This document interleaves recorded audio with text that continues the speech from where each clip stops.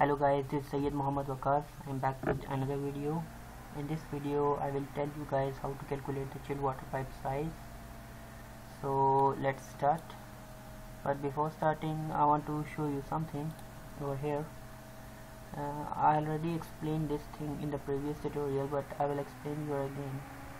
In the case of district cooling uh, we are using 1 TR equal to 1.5 GPM and how this comes by using this formula TR is equal to 24 GPM divided by delta T.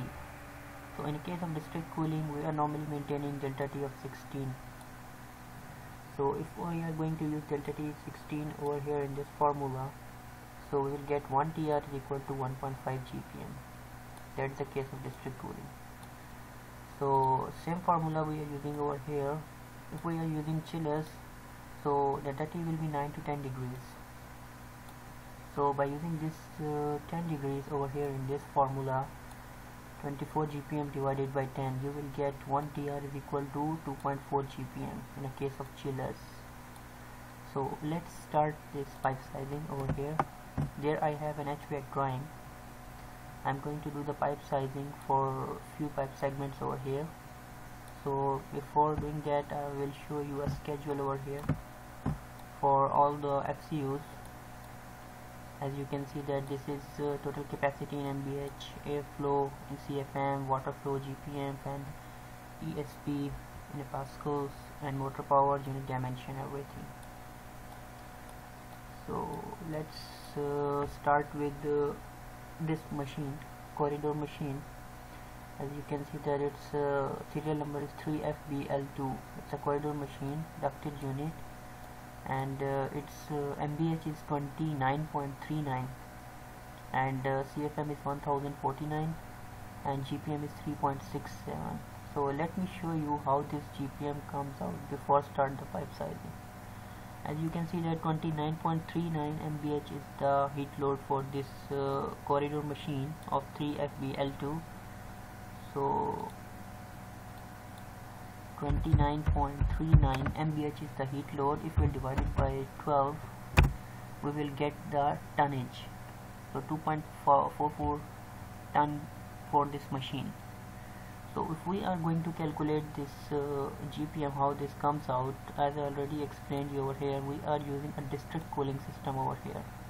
So how much ton how much GPM is required for 1 TR it is 1.5 GPM is required for 1 TR and we have a machine of 2.449 TR so we need to multiply this tonnage with 1.5 so we'll get the GPM as you can see that the GPM is required for this machine is 3.67 GPM you can see that 3.67 GPM this is how you can calculate the GPM for each and every machine.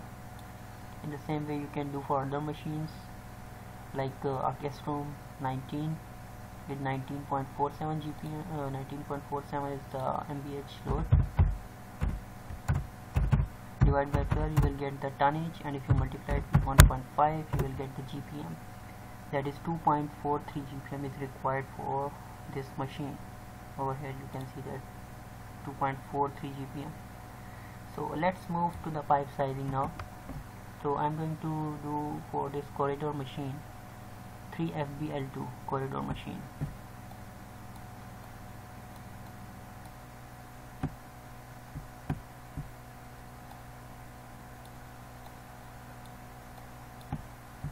Over here you can see that this machine is 3FBL2 corridor machine the one I was talking in the schedule. So you can see that we already calculate the GPM for this machine. And the GPM required is 3.7 GPM for our calculated heat load GPM required is 3.7 for this machine by district cooling system. So now we are going to see how this 3 by 4 inch pipe size is coming for this 3.7 GPM so let me open this uh, pipe sizer tool.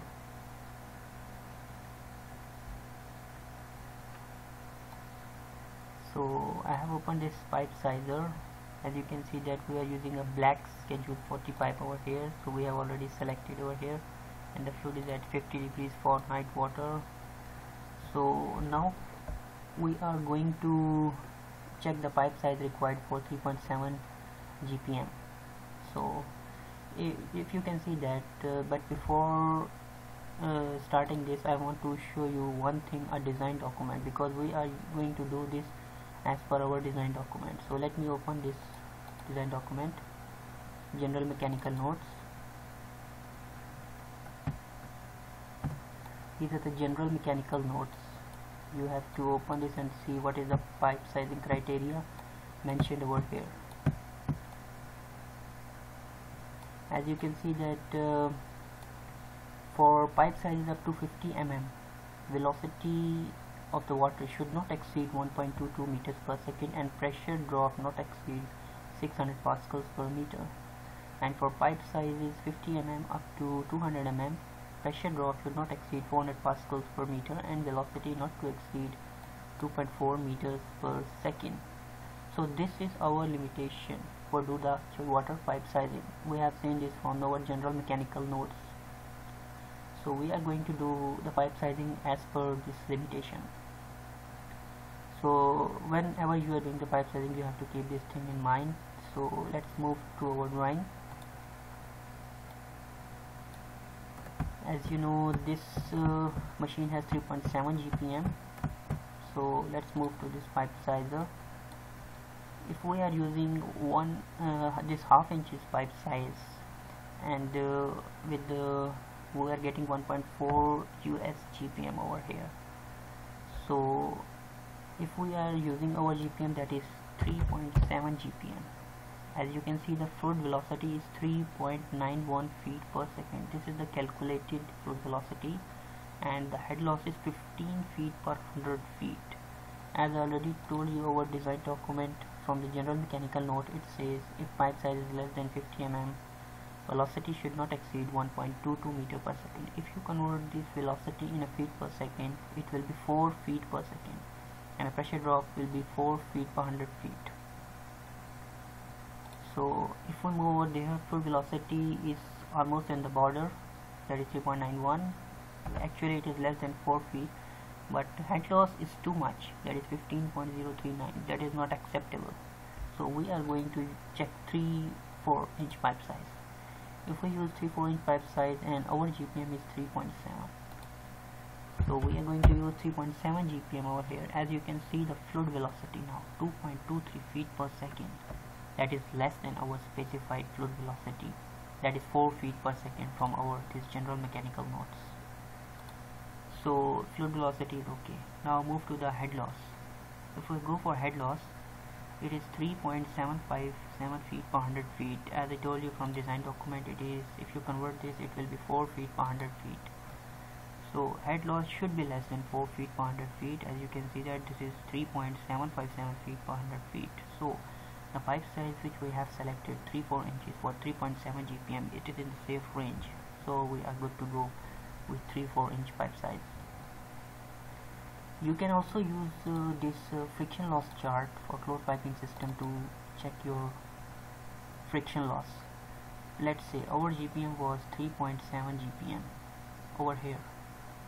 This is the flow rate this is the head loss and these are the pipe sizes over here so overflow rate is uh, 3.7 GPM that will be below 4 GPM over here. And if we move to 3 4 inch pipe size if this 3 4 this 3.7 GPM cross over here 3 3 3 4 inch pipe size it will fall somewhere it will fall over here just before 4 that may be 3.7 3.8 feet per 100 feet. So as you can see that we already checked over here in the pipe sizer head loss is 3.757 feet per 100 feet. That is less than 4 feet per 100 feet. So we can use this pipe size 4 inch for 3.7 GPM so let me show you one more over here. Okay let's do a pipe sizing for these two pipe segments with the 22.9 GPM okay. Go to the pipe sizer if I select 1 inch uh, uh, one quarter pipe size and I am going to use 22.9 GPM you can see the fluid velocity is 4.91 feet per second. That is more than 4 feet per second 4 feet per second is our design limit. So and also head loss 8.33 feet per, per 100 feet. That is more than 4 feet per 100 feet. So we are not going to select this pipe size for 22.9 GPM let's move to the higher side that is one and a half inches and give our GPM 22.9 GPM as you can see that uh, fluid velocity is 3.61 feet per second and head loss is 3.874 feet per 100 feet. You can see that fluid velocity 3.61 is less than our specified fluid velocity that is 4 feet per second. And head loss of 3.874 per 100 feet is less than our 4 feet per 100 feet. So we are good to go with this pipe size of 1.5 inches for 22.9 GPM so if uh, in the same way you can do the pipe sizing for other pipe segments and uh, you can use uh, pipe sizer tool to calculate the pipe size. I hope you guys like this video and you guys learned something from this video. Please like comment share and don't forget to subscribe my channel. For more videos keep watching my channel. Bye bye